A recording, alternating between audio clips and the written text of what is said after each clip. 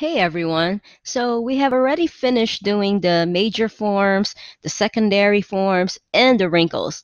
Now we have to do the pores on the skin.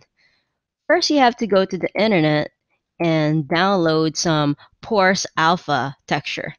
So there are a few websites you could go to. You go to surfacemimic.com to download some realistic pores texture, some Pores Alpha here. So if you, let's say you like this one, you click on it, and it looks like they are charging for the high resolution photos. There's also a free sample, but it is watermarked. Uh, if you can't afford to purchase this these nice high quality textures, you could always go to google.com and get some free ones. Just go to Google Images and just type in Pores Alpha ZBrush. And there's some pretty nice stuff here too that you could use, just not as high resolution as the ones that you have to pay for, which is this right here. But I've used some of these before and they're pretty decent. So you could just like click that, go to view image and just save those pores images that you like. And once you have them saved, you could just import them in ZBrush.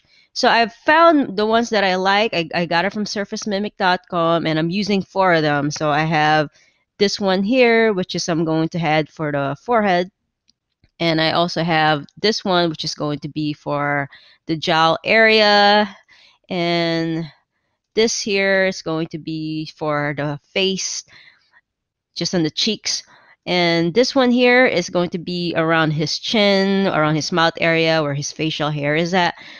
And so I'm using four different types of facial details there just so to give it variety. So I don't want it to be too repetitive, the pores. So Try to get different types of pores to apply on your mesh. Okay, so once you guys downloaded the pores details that you want from online, to import it in ZBrush, this is how you're going to do it. You just go to the alpha here, click on where it says alpha off there, and you click on import.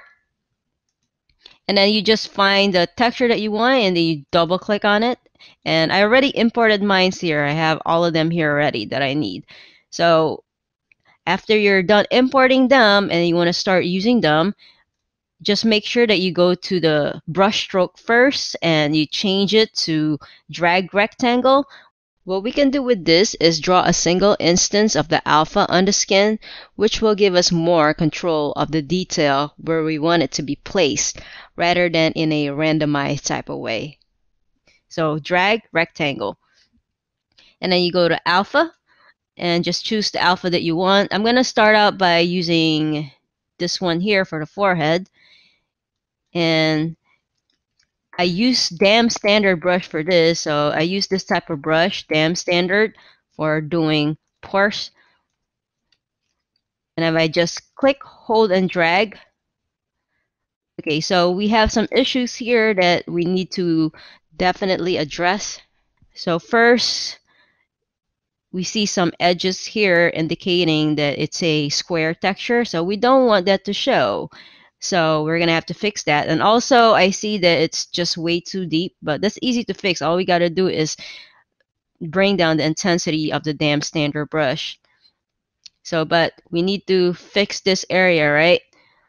We don't want that mark there. Let me just undo this. So go to alpha. We're going to make changes for the alpha. So this is our alpha on there, right? Go to the modify settings here. And first, we're going to set the radial fade to 25. This will soften the edges of our alpha texture.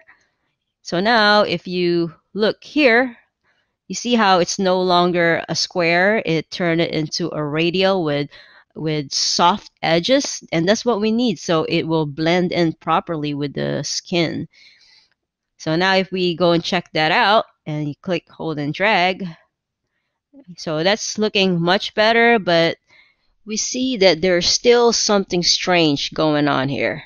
There's a little bit of bulging in going on in there and just a little bit slight edges still showing. Let me just undo that.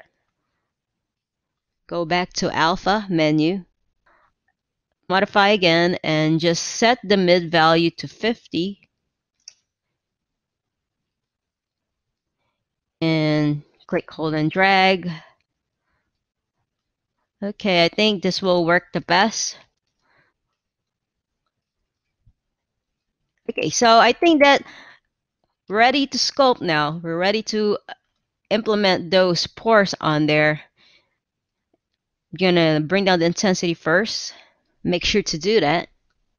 Holding the Alt key as I drag, click, hold, and drag.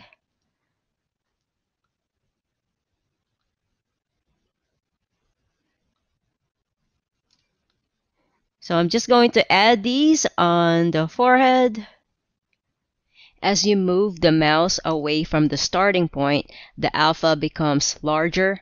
As you move the mouse around the starting point, the alpha is rotated. Just keep that in mind.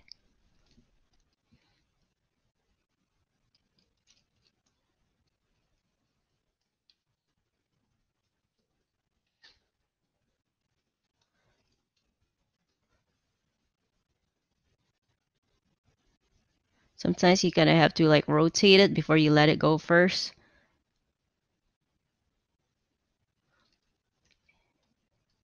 And if you don't want it to be too symmetrical, just press X on your keyboard to turn off symmetry.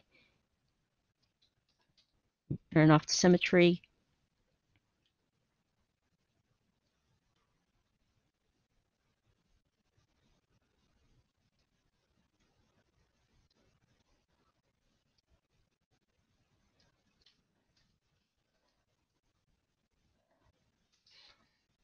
Uh, let me undo that. Really liking that. I'm gonna hold the Alt key and drag. All right, that's better.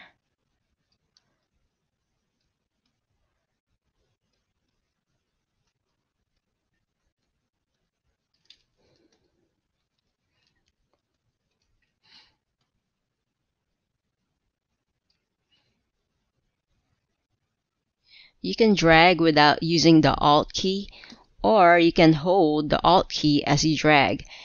Each gives you a different type of effect. Play around with it as you go back and forth checking your reference photo.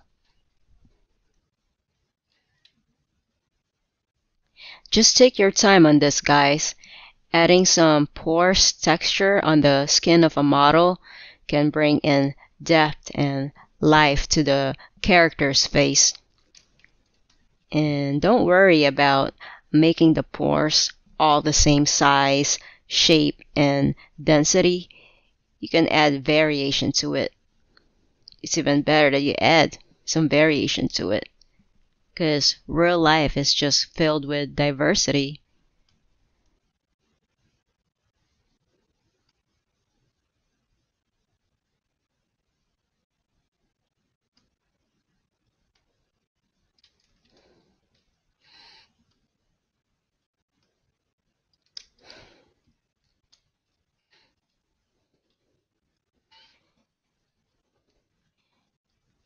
And I'm gonna use a different alpha for the eyes here and the cheeks. I'm going to use the regular pores here that I have another pores detail. I'm just going to turn on the symmetry for this one. Holding the Alt key as I drag.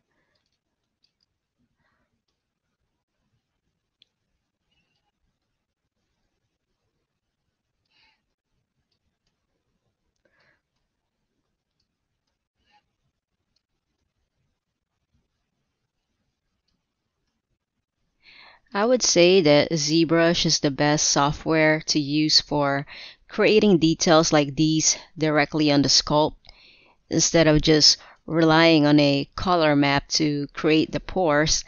Having ZBrush allows users to have more control over the surface.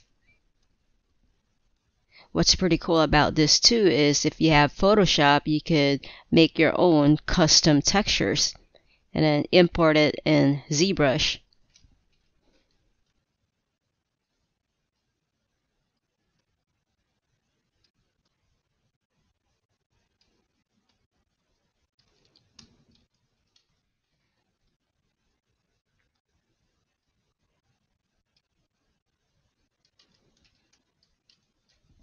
Now I want to do a different type of skin details for the nose.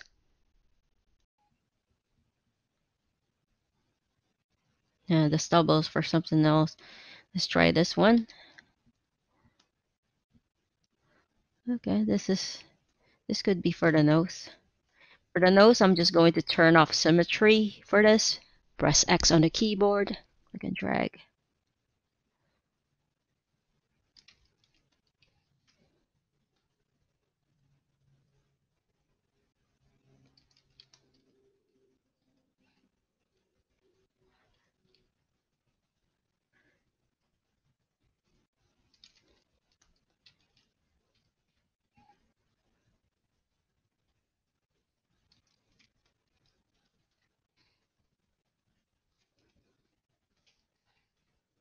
If you want a higher resolution pores and if your computer can handle it, you could go to geometry and you could subdivide it some more. You could go to subdivision 6 or 7.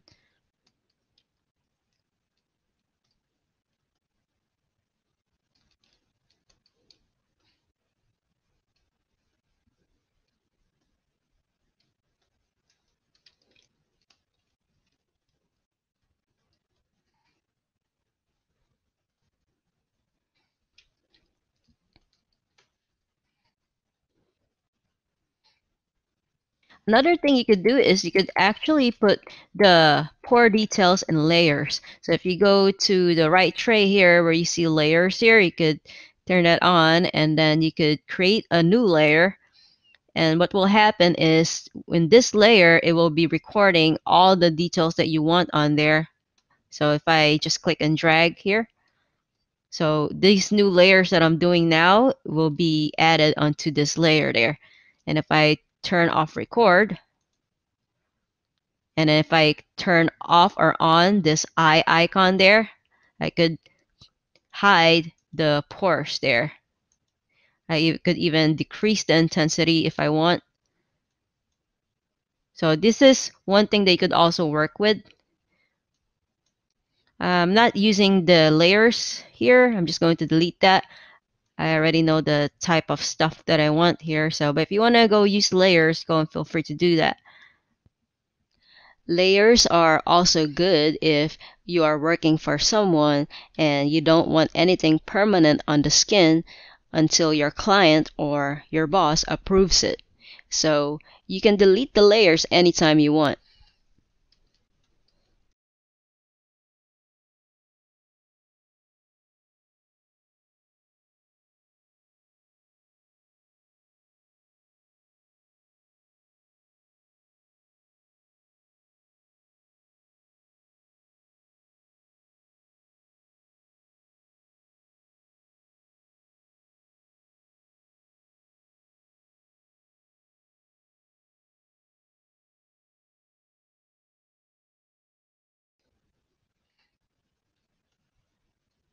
Going over the nose.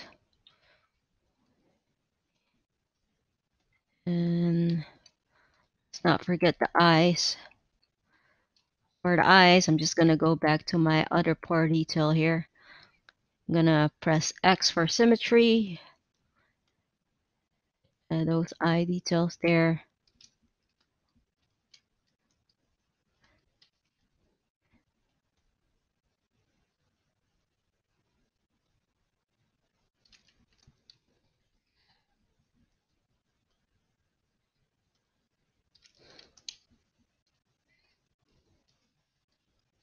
I'm going to decrease the intensity for this one.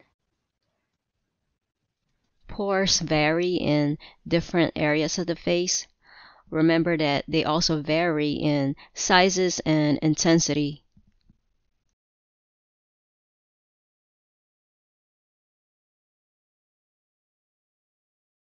So I am just clicking and dragging and constantly changing brush sizes and brush intensity.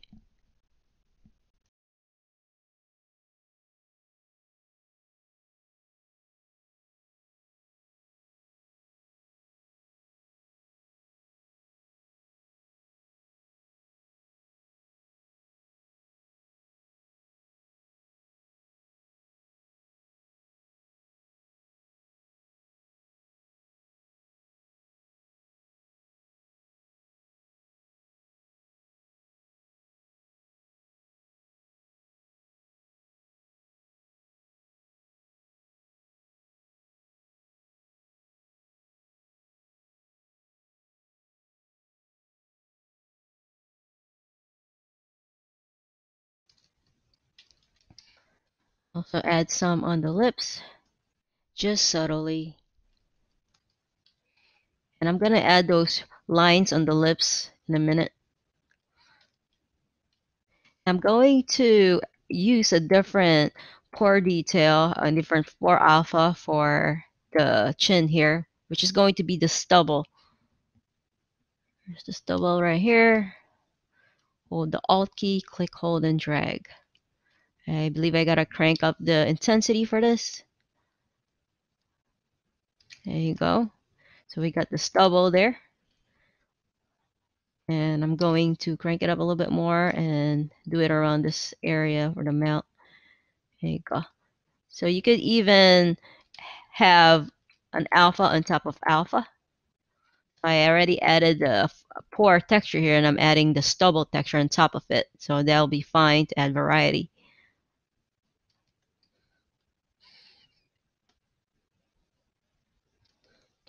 So I could see there on Einstein, he has the stubble on there, right by his jowl region.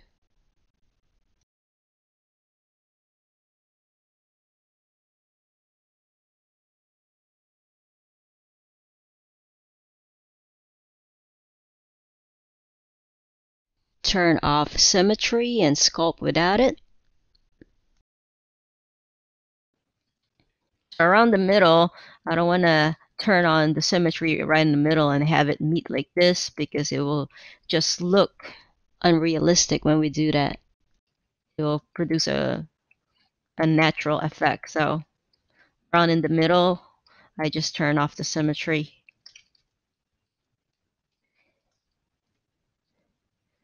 Okay.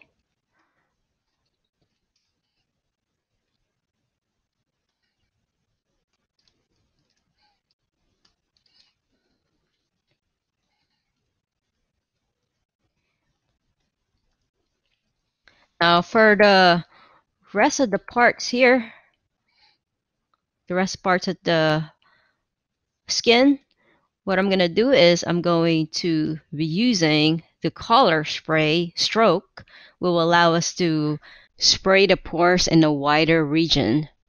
And also, using the color spray is going to be different from the drag rectangle because this is going to be more of a, it's going to create the pores in more of a randomized type of way. And what I wanted to do is for the beginning, which is going to be the parts here nearby the areas of the important facial features, I wanted the pores to be set up in a more organized fashion as it relates to my Einstein reference. So I'm going to use color spray for the rest of the skin. And I'm just going to change the alpha to skin male pores. And I could just start spraying the pores on there. And I have symmetry turn on for this. So just splashing the skin with pores alpha. So there are different ways of adding pores to the character skin and this is one of them. I could just bring down the intensity a bit.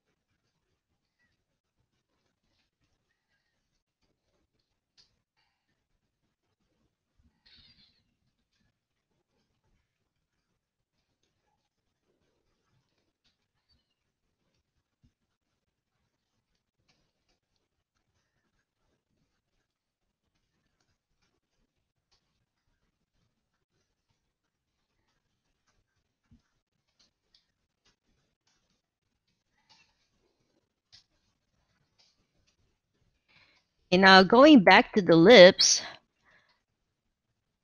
here I need to add those wrinkles on the lips there. So I'm just going to make sure I'm still on dam standard brush. I'm going to go back for my dot stroke, the default setting for it, and I'm just going to turn off the alpha.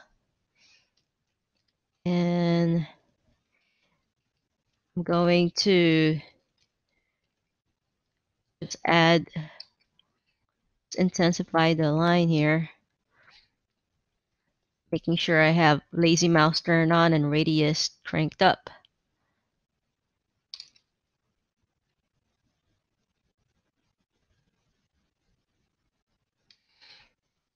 And bring down the lazy radius because I need to have more control as I'm doing the wrinkles for the lips. Bring down the draw size a bit.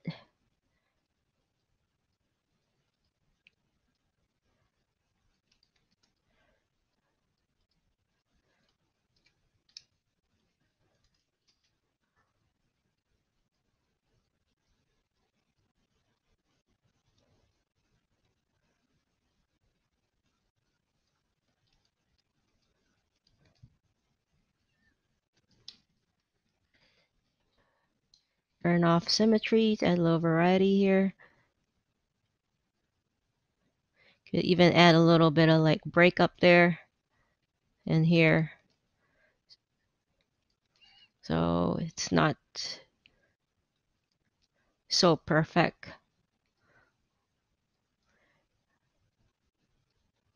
There you go.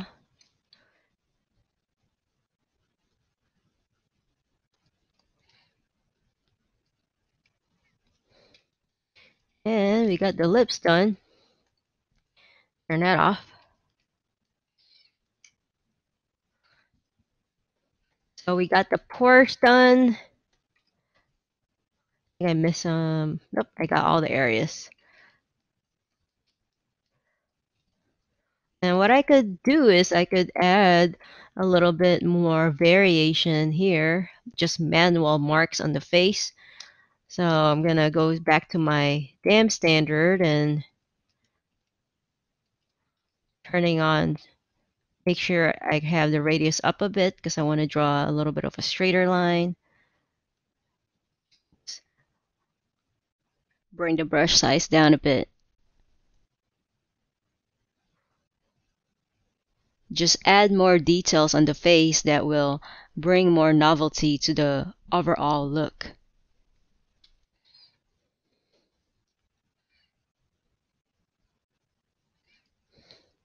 And I could also do that somewhere on the eyes here, just not so harsh. Just subtle, subtly. Just more of that realistic feel to it.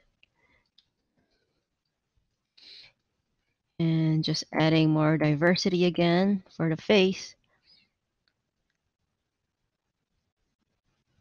Little details like these, they give your character that oomph you know that that fire.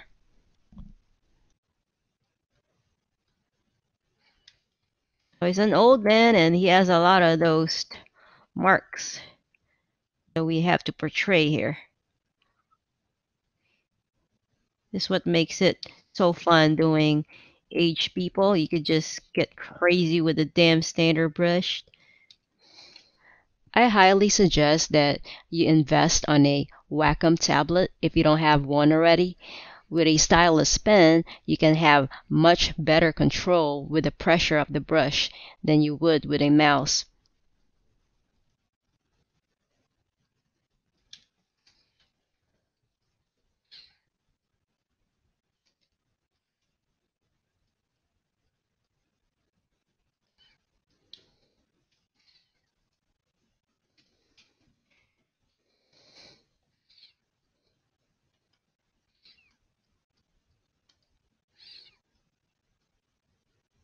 So this adds more variety to the pores that we have there.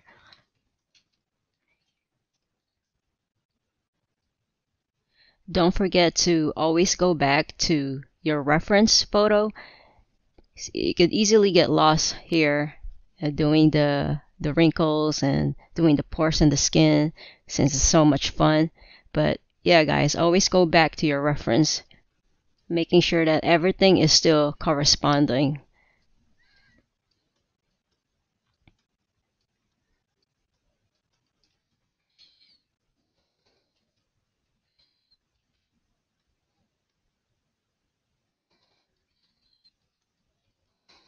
Hey. Somewhere here by the gel, the constant folds that's been happening on the gel show some marks there. So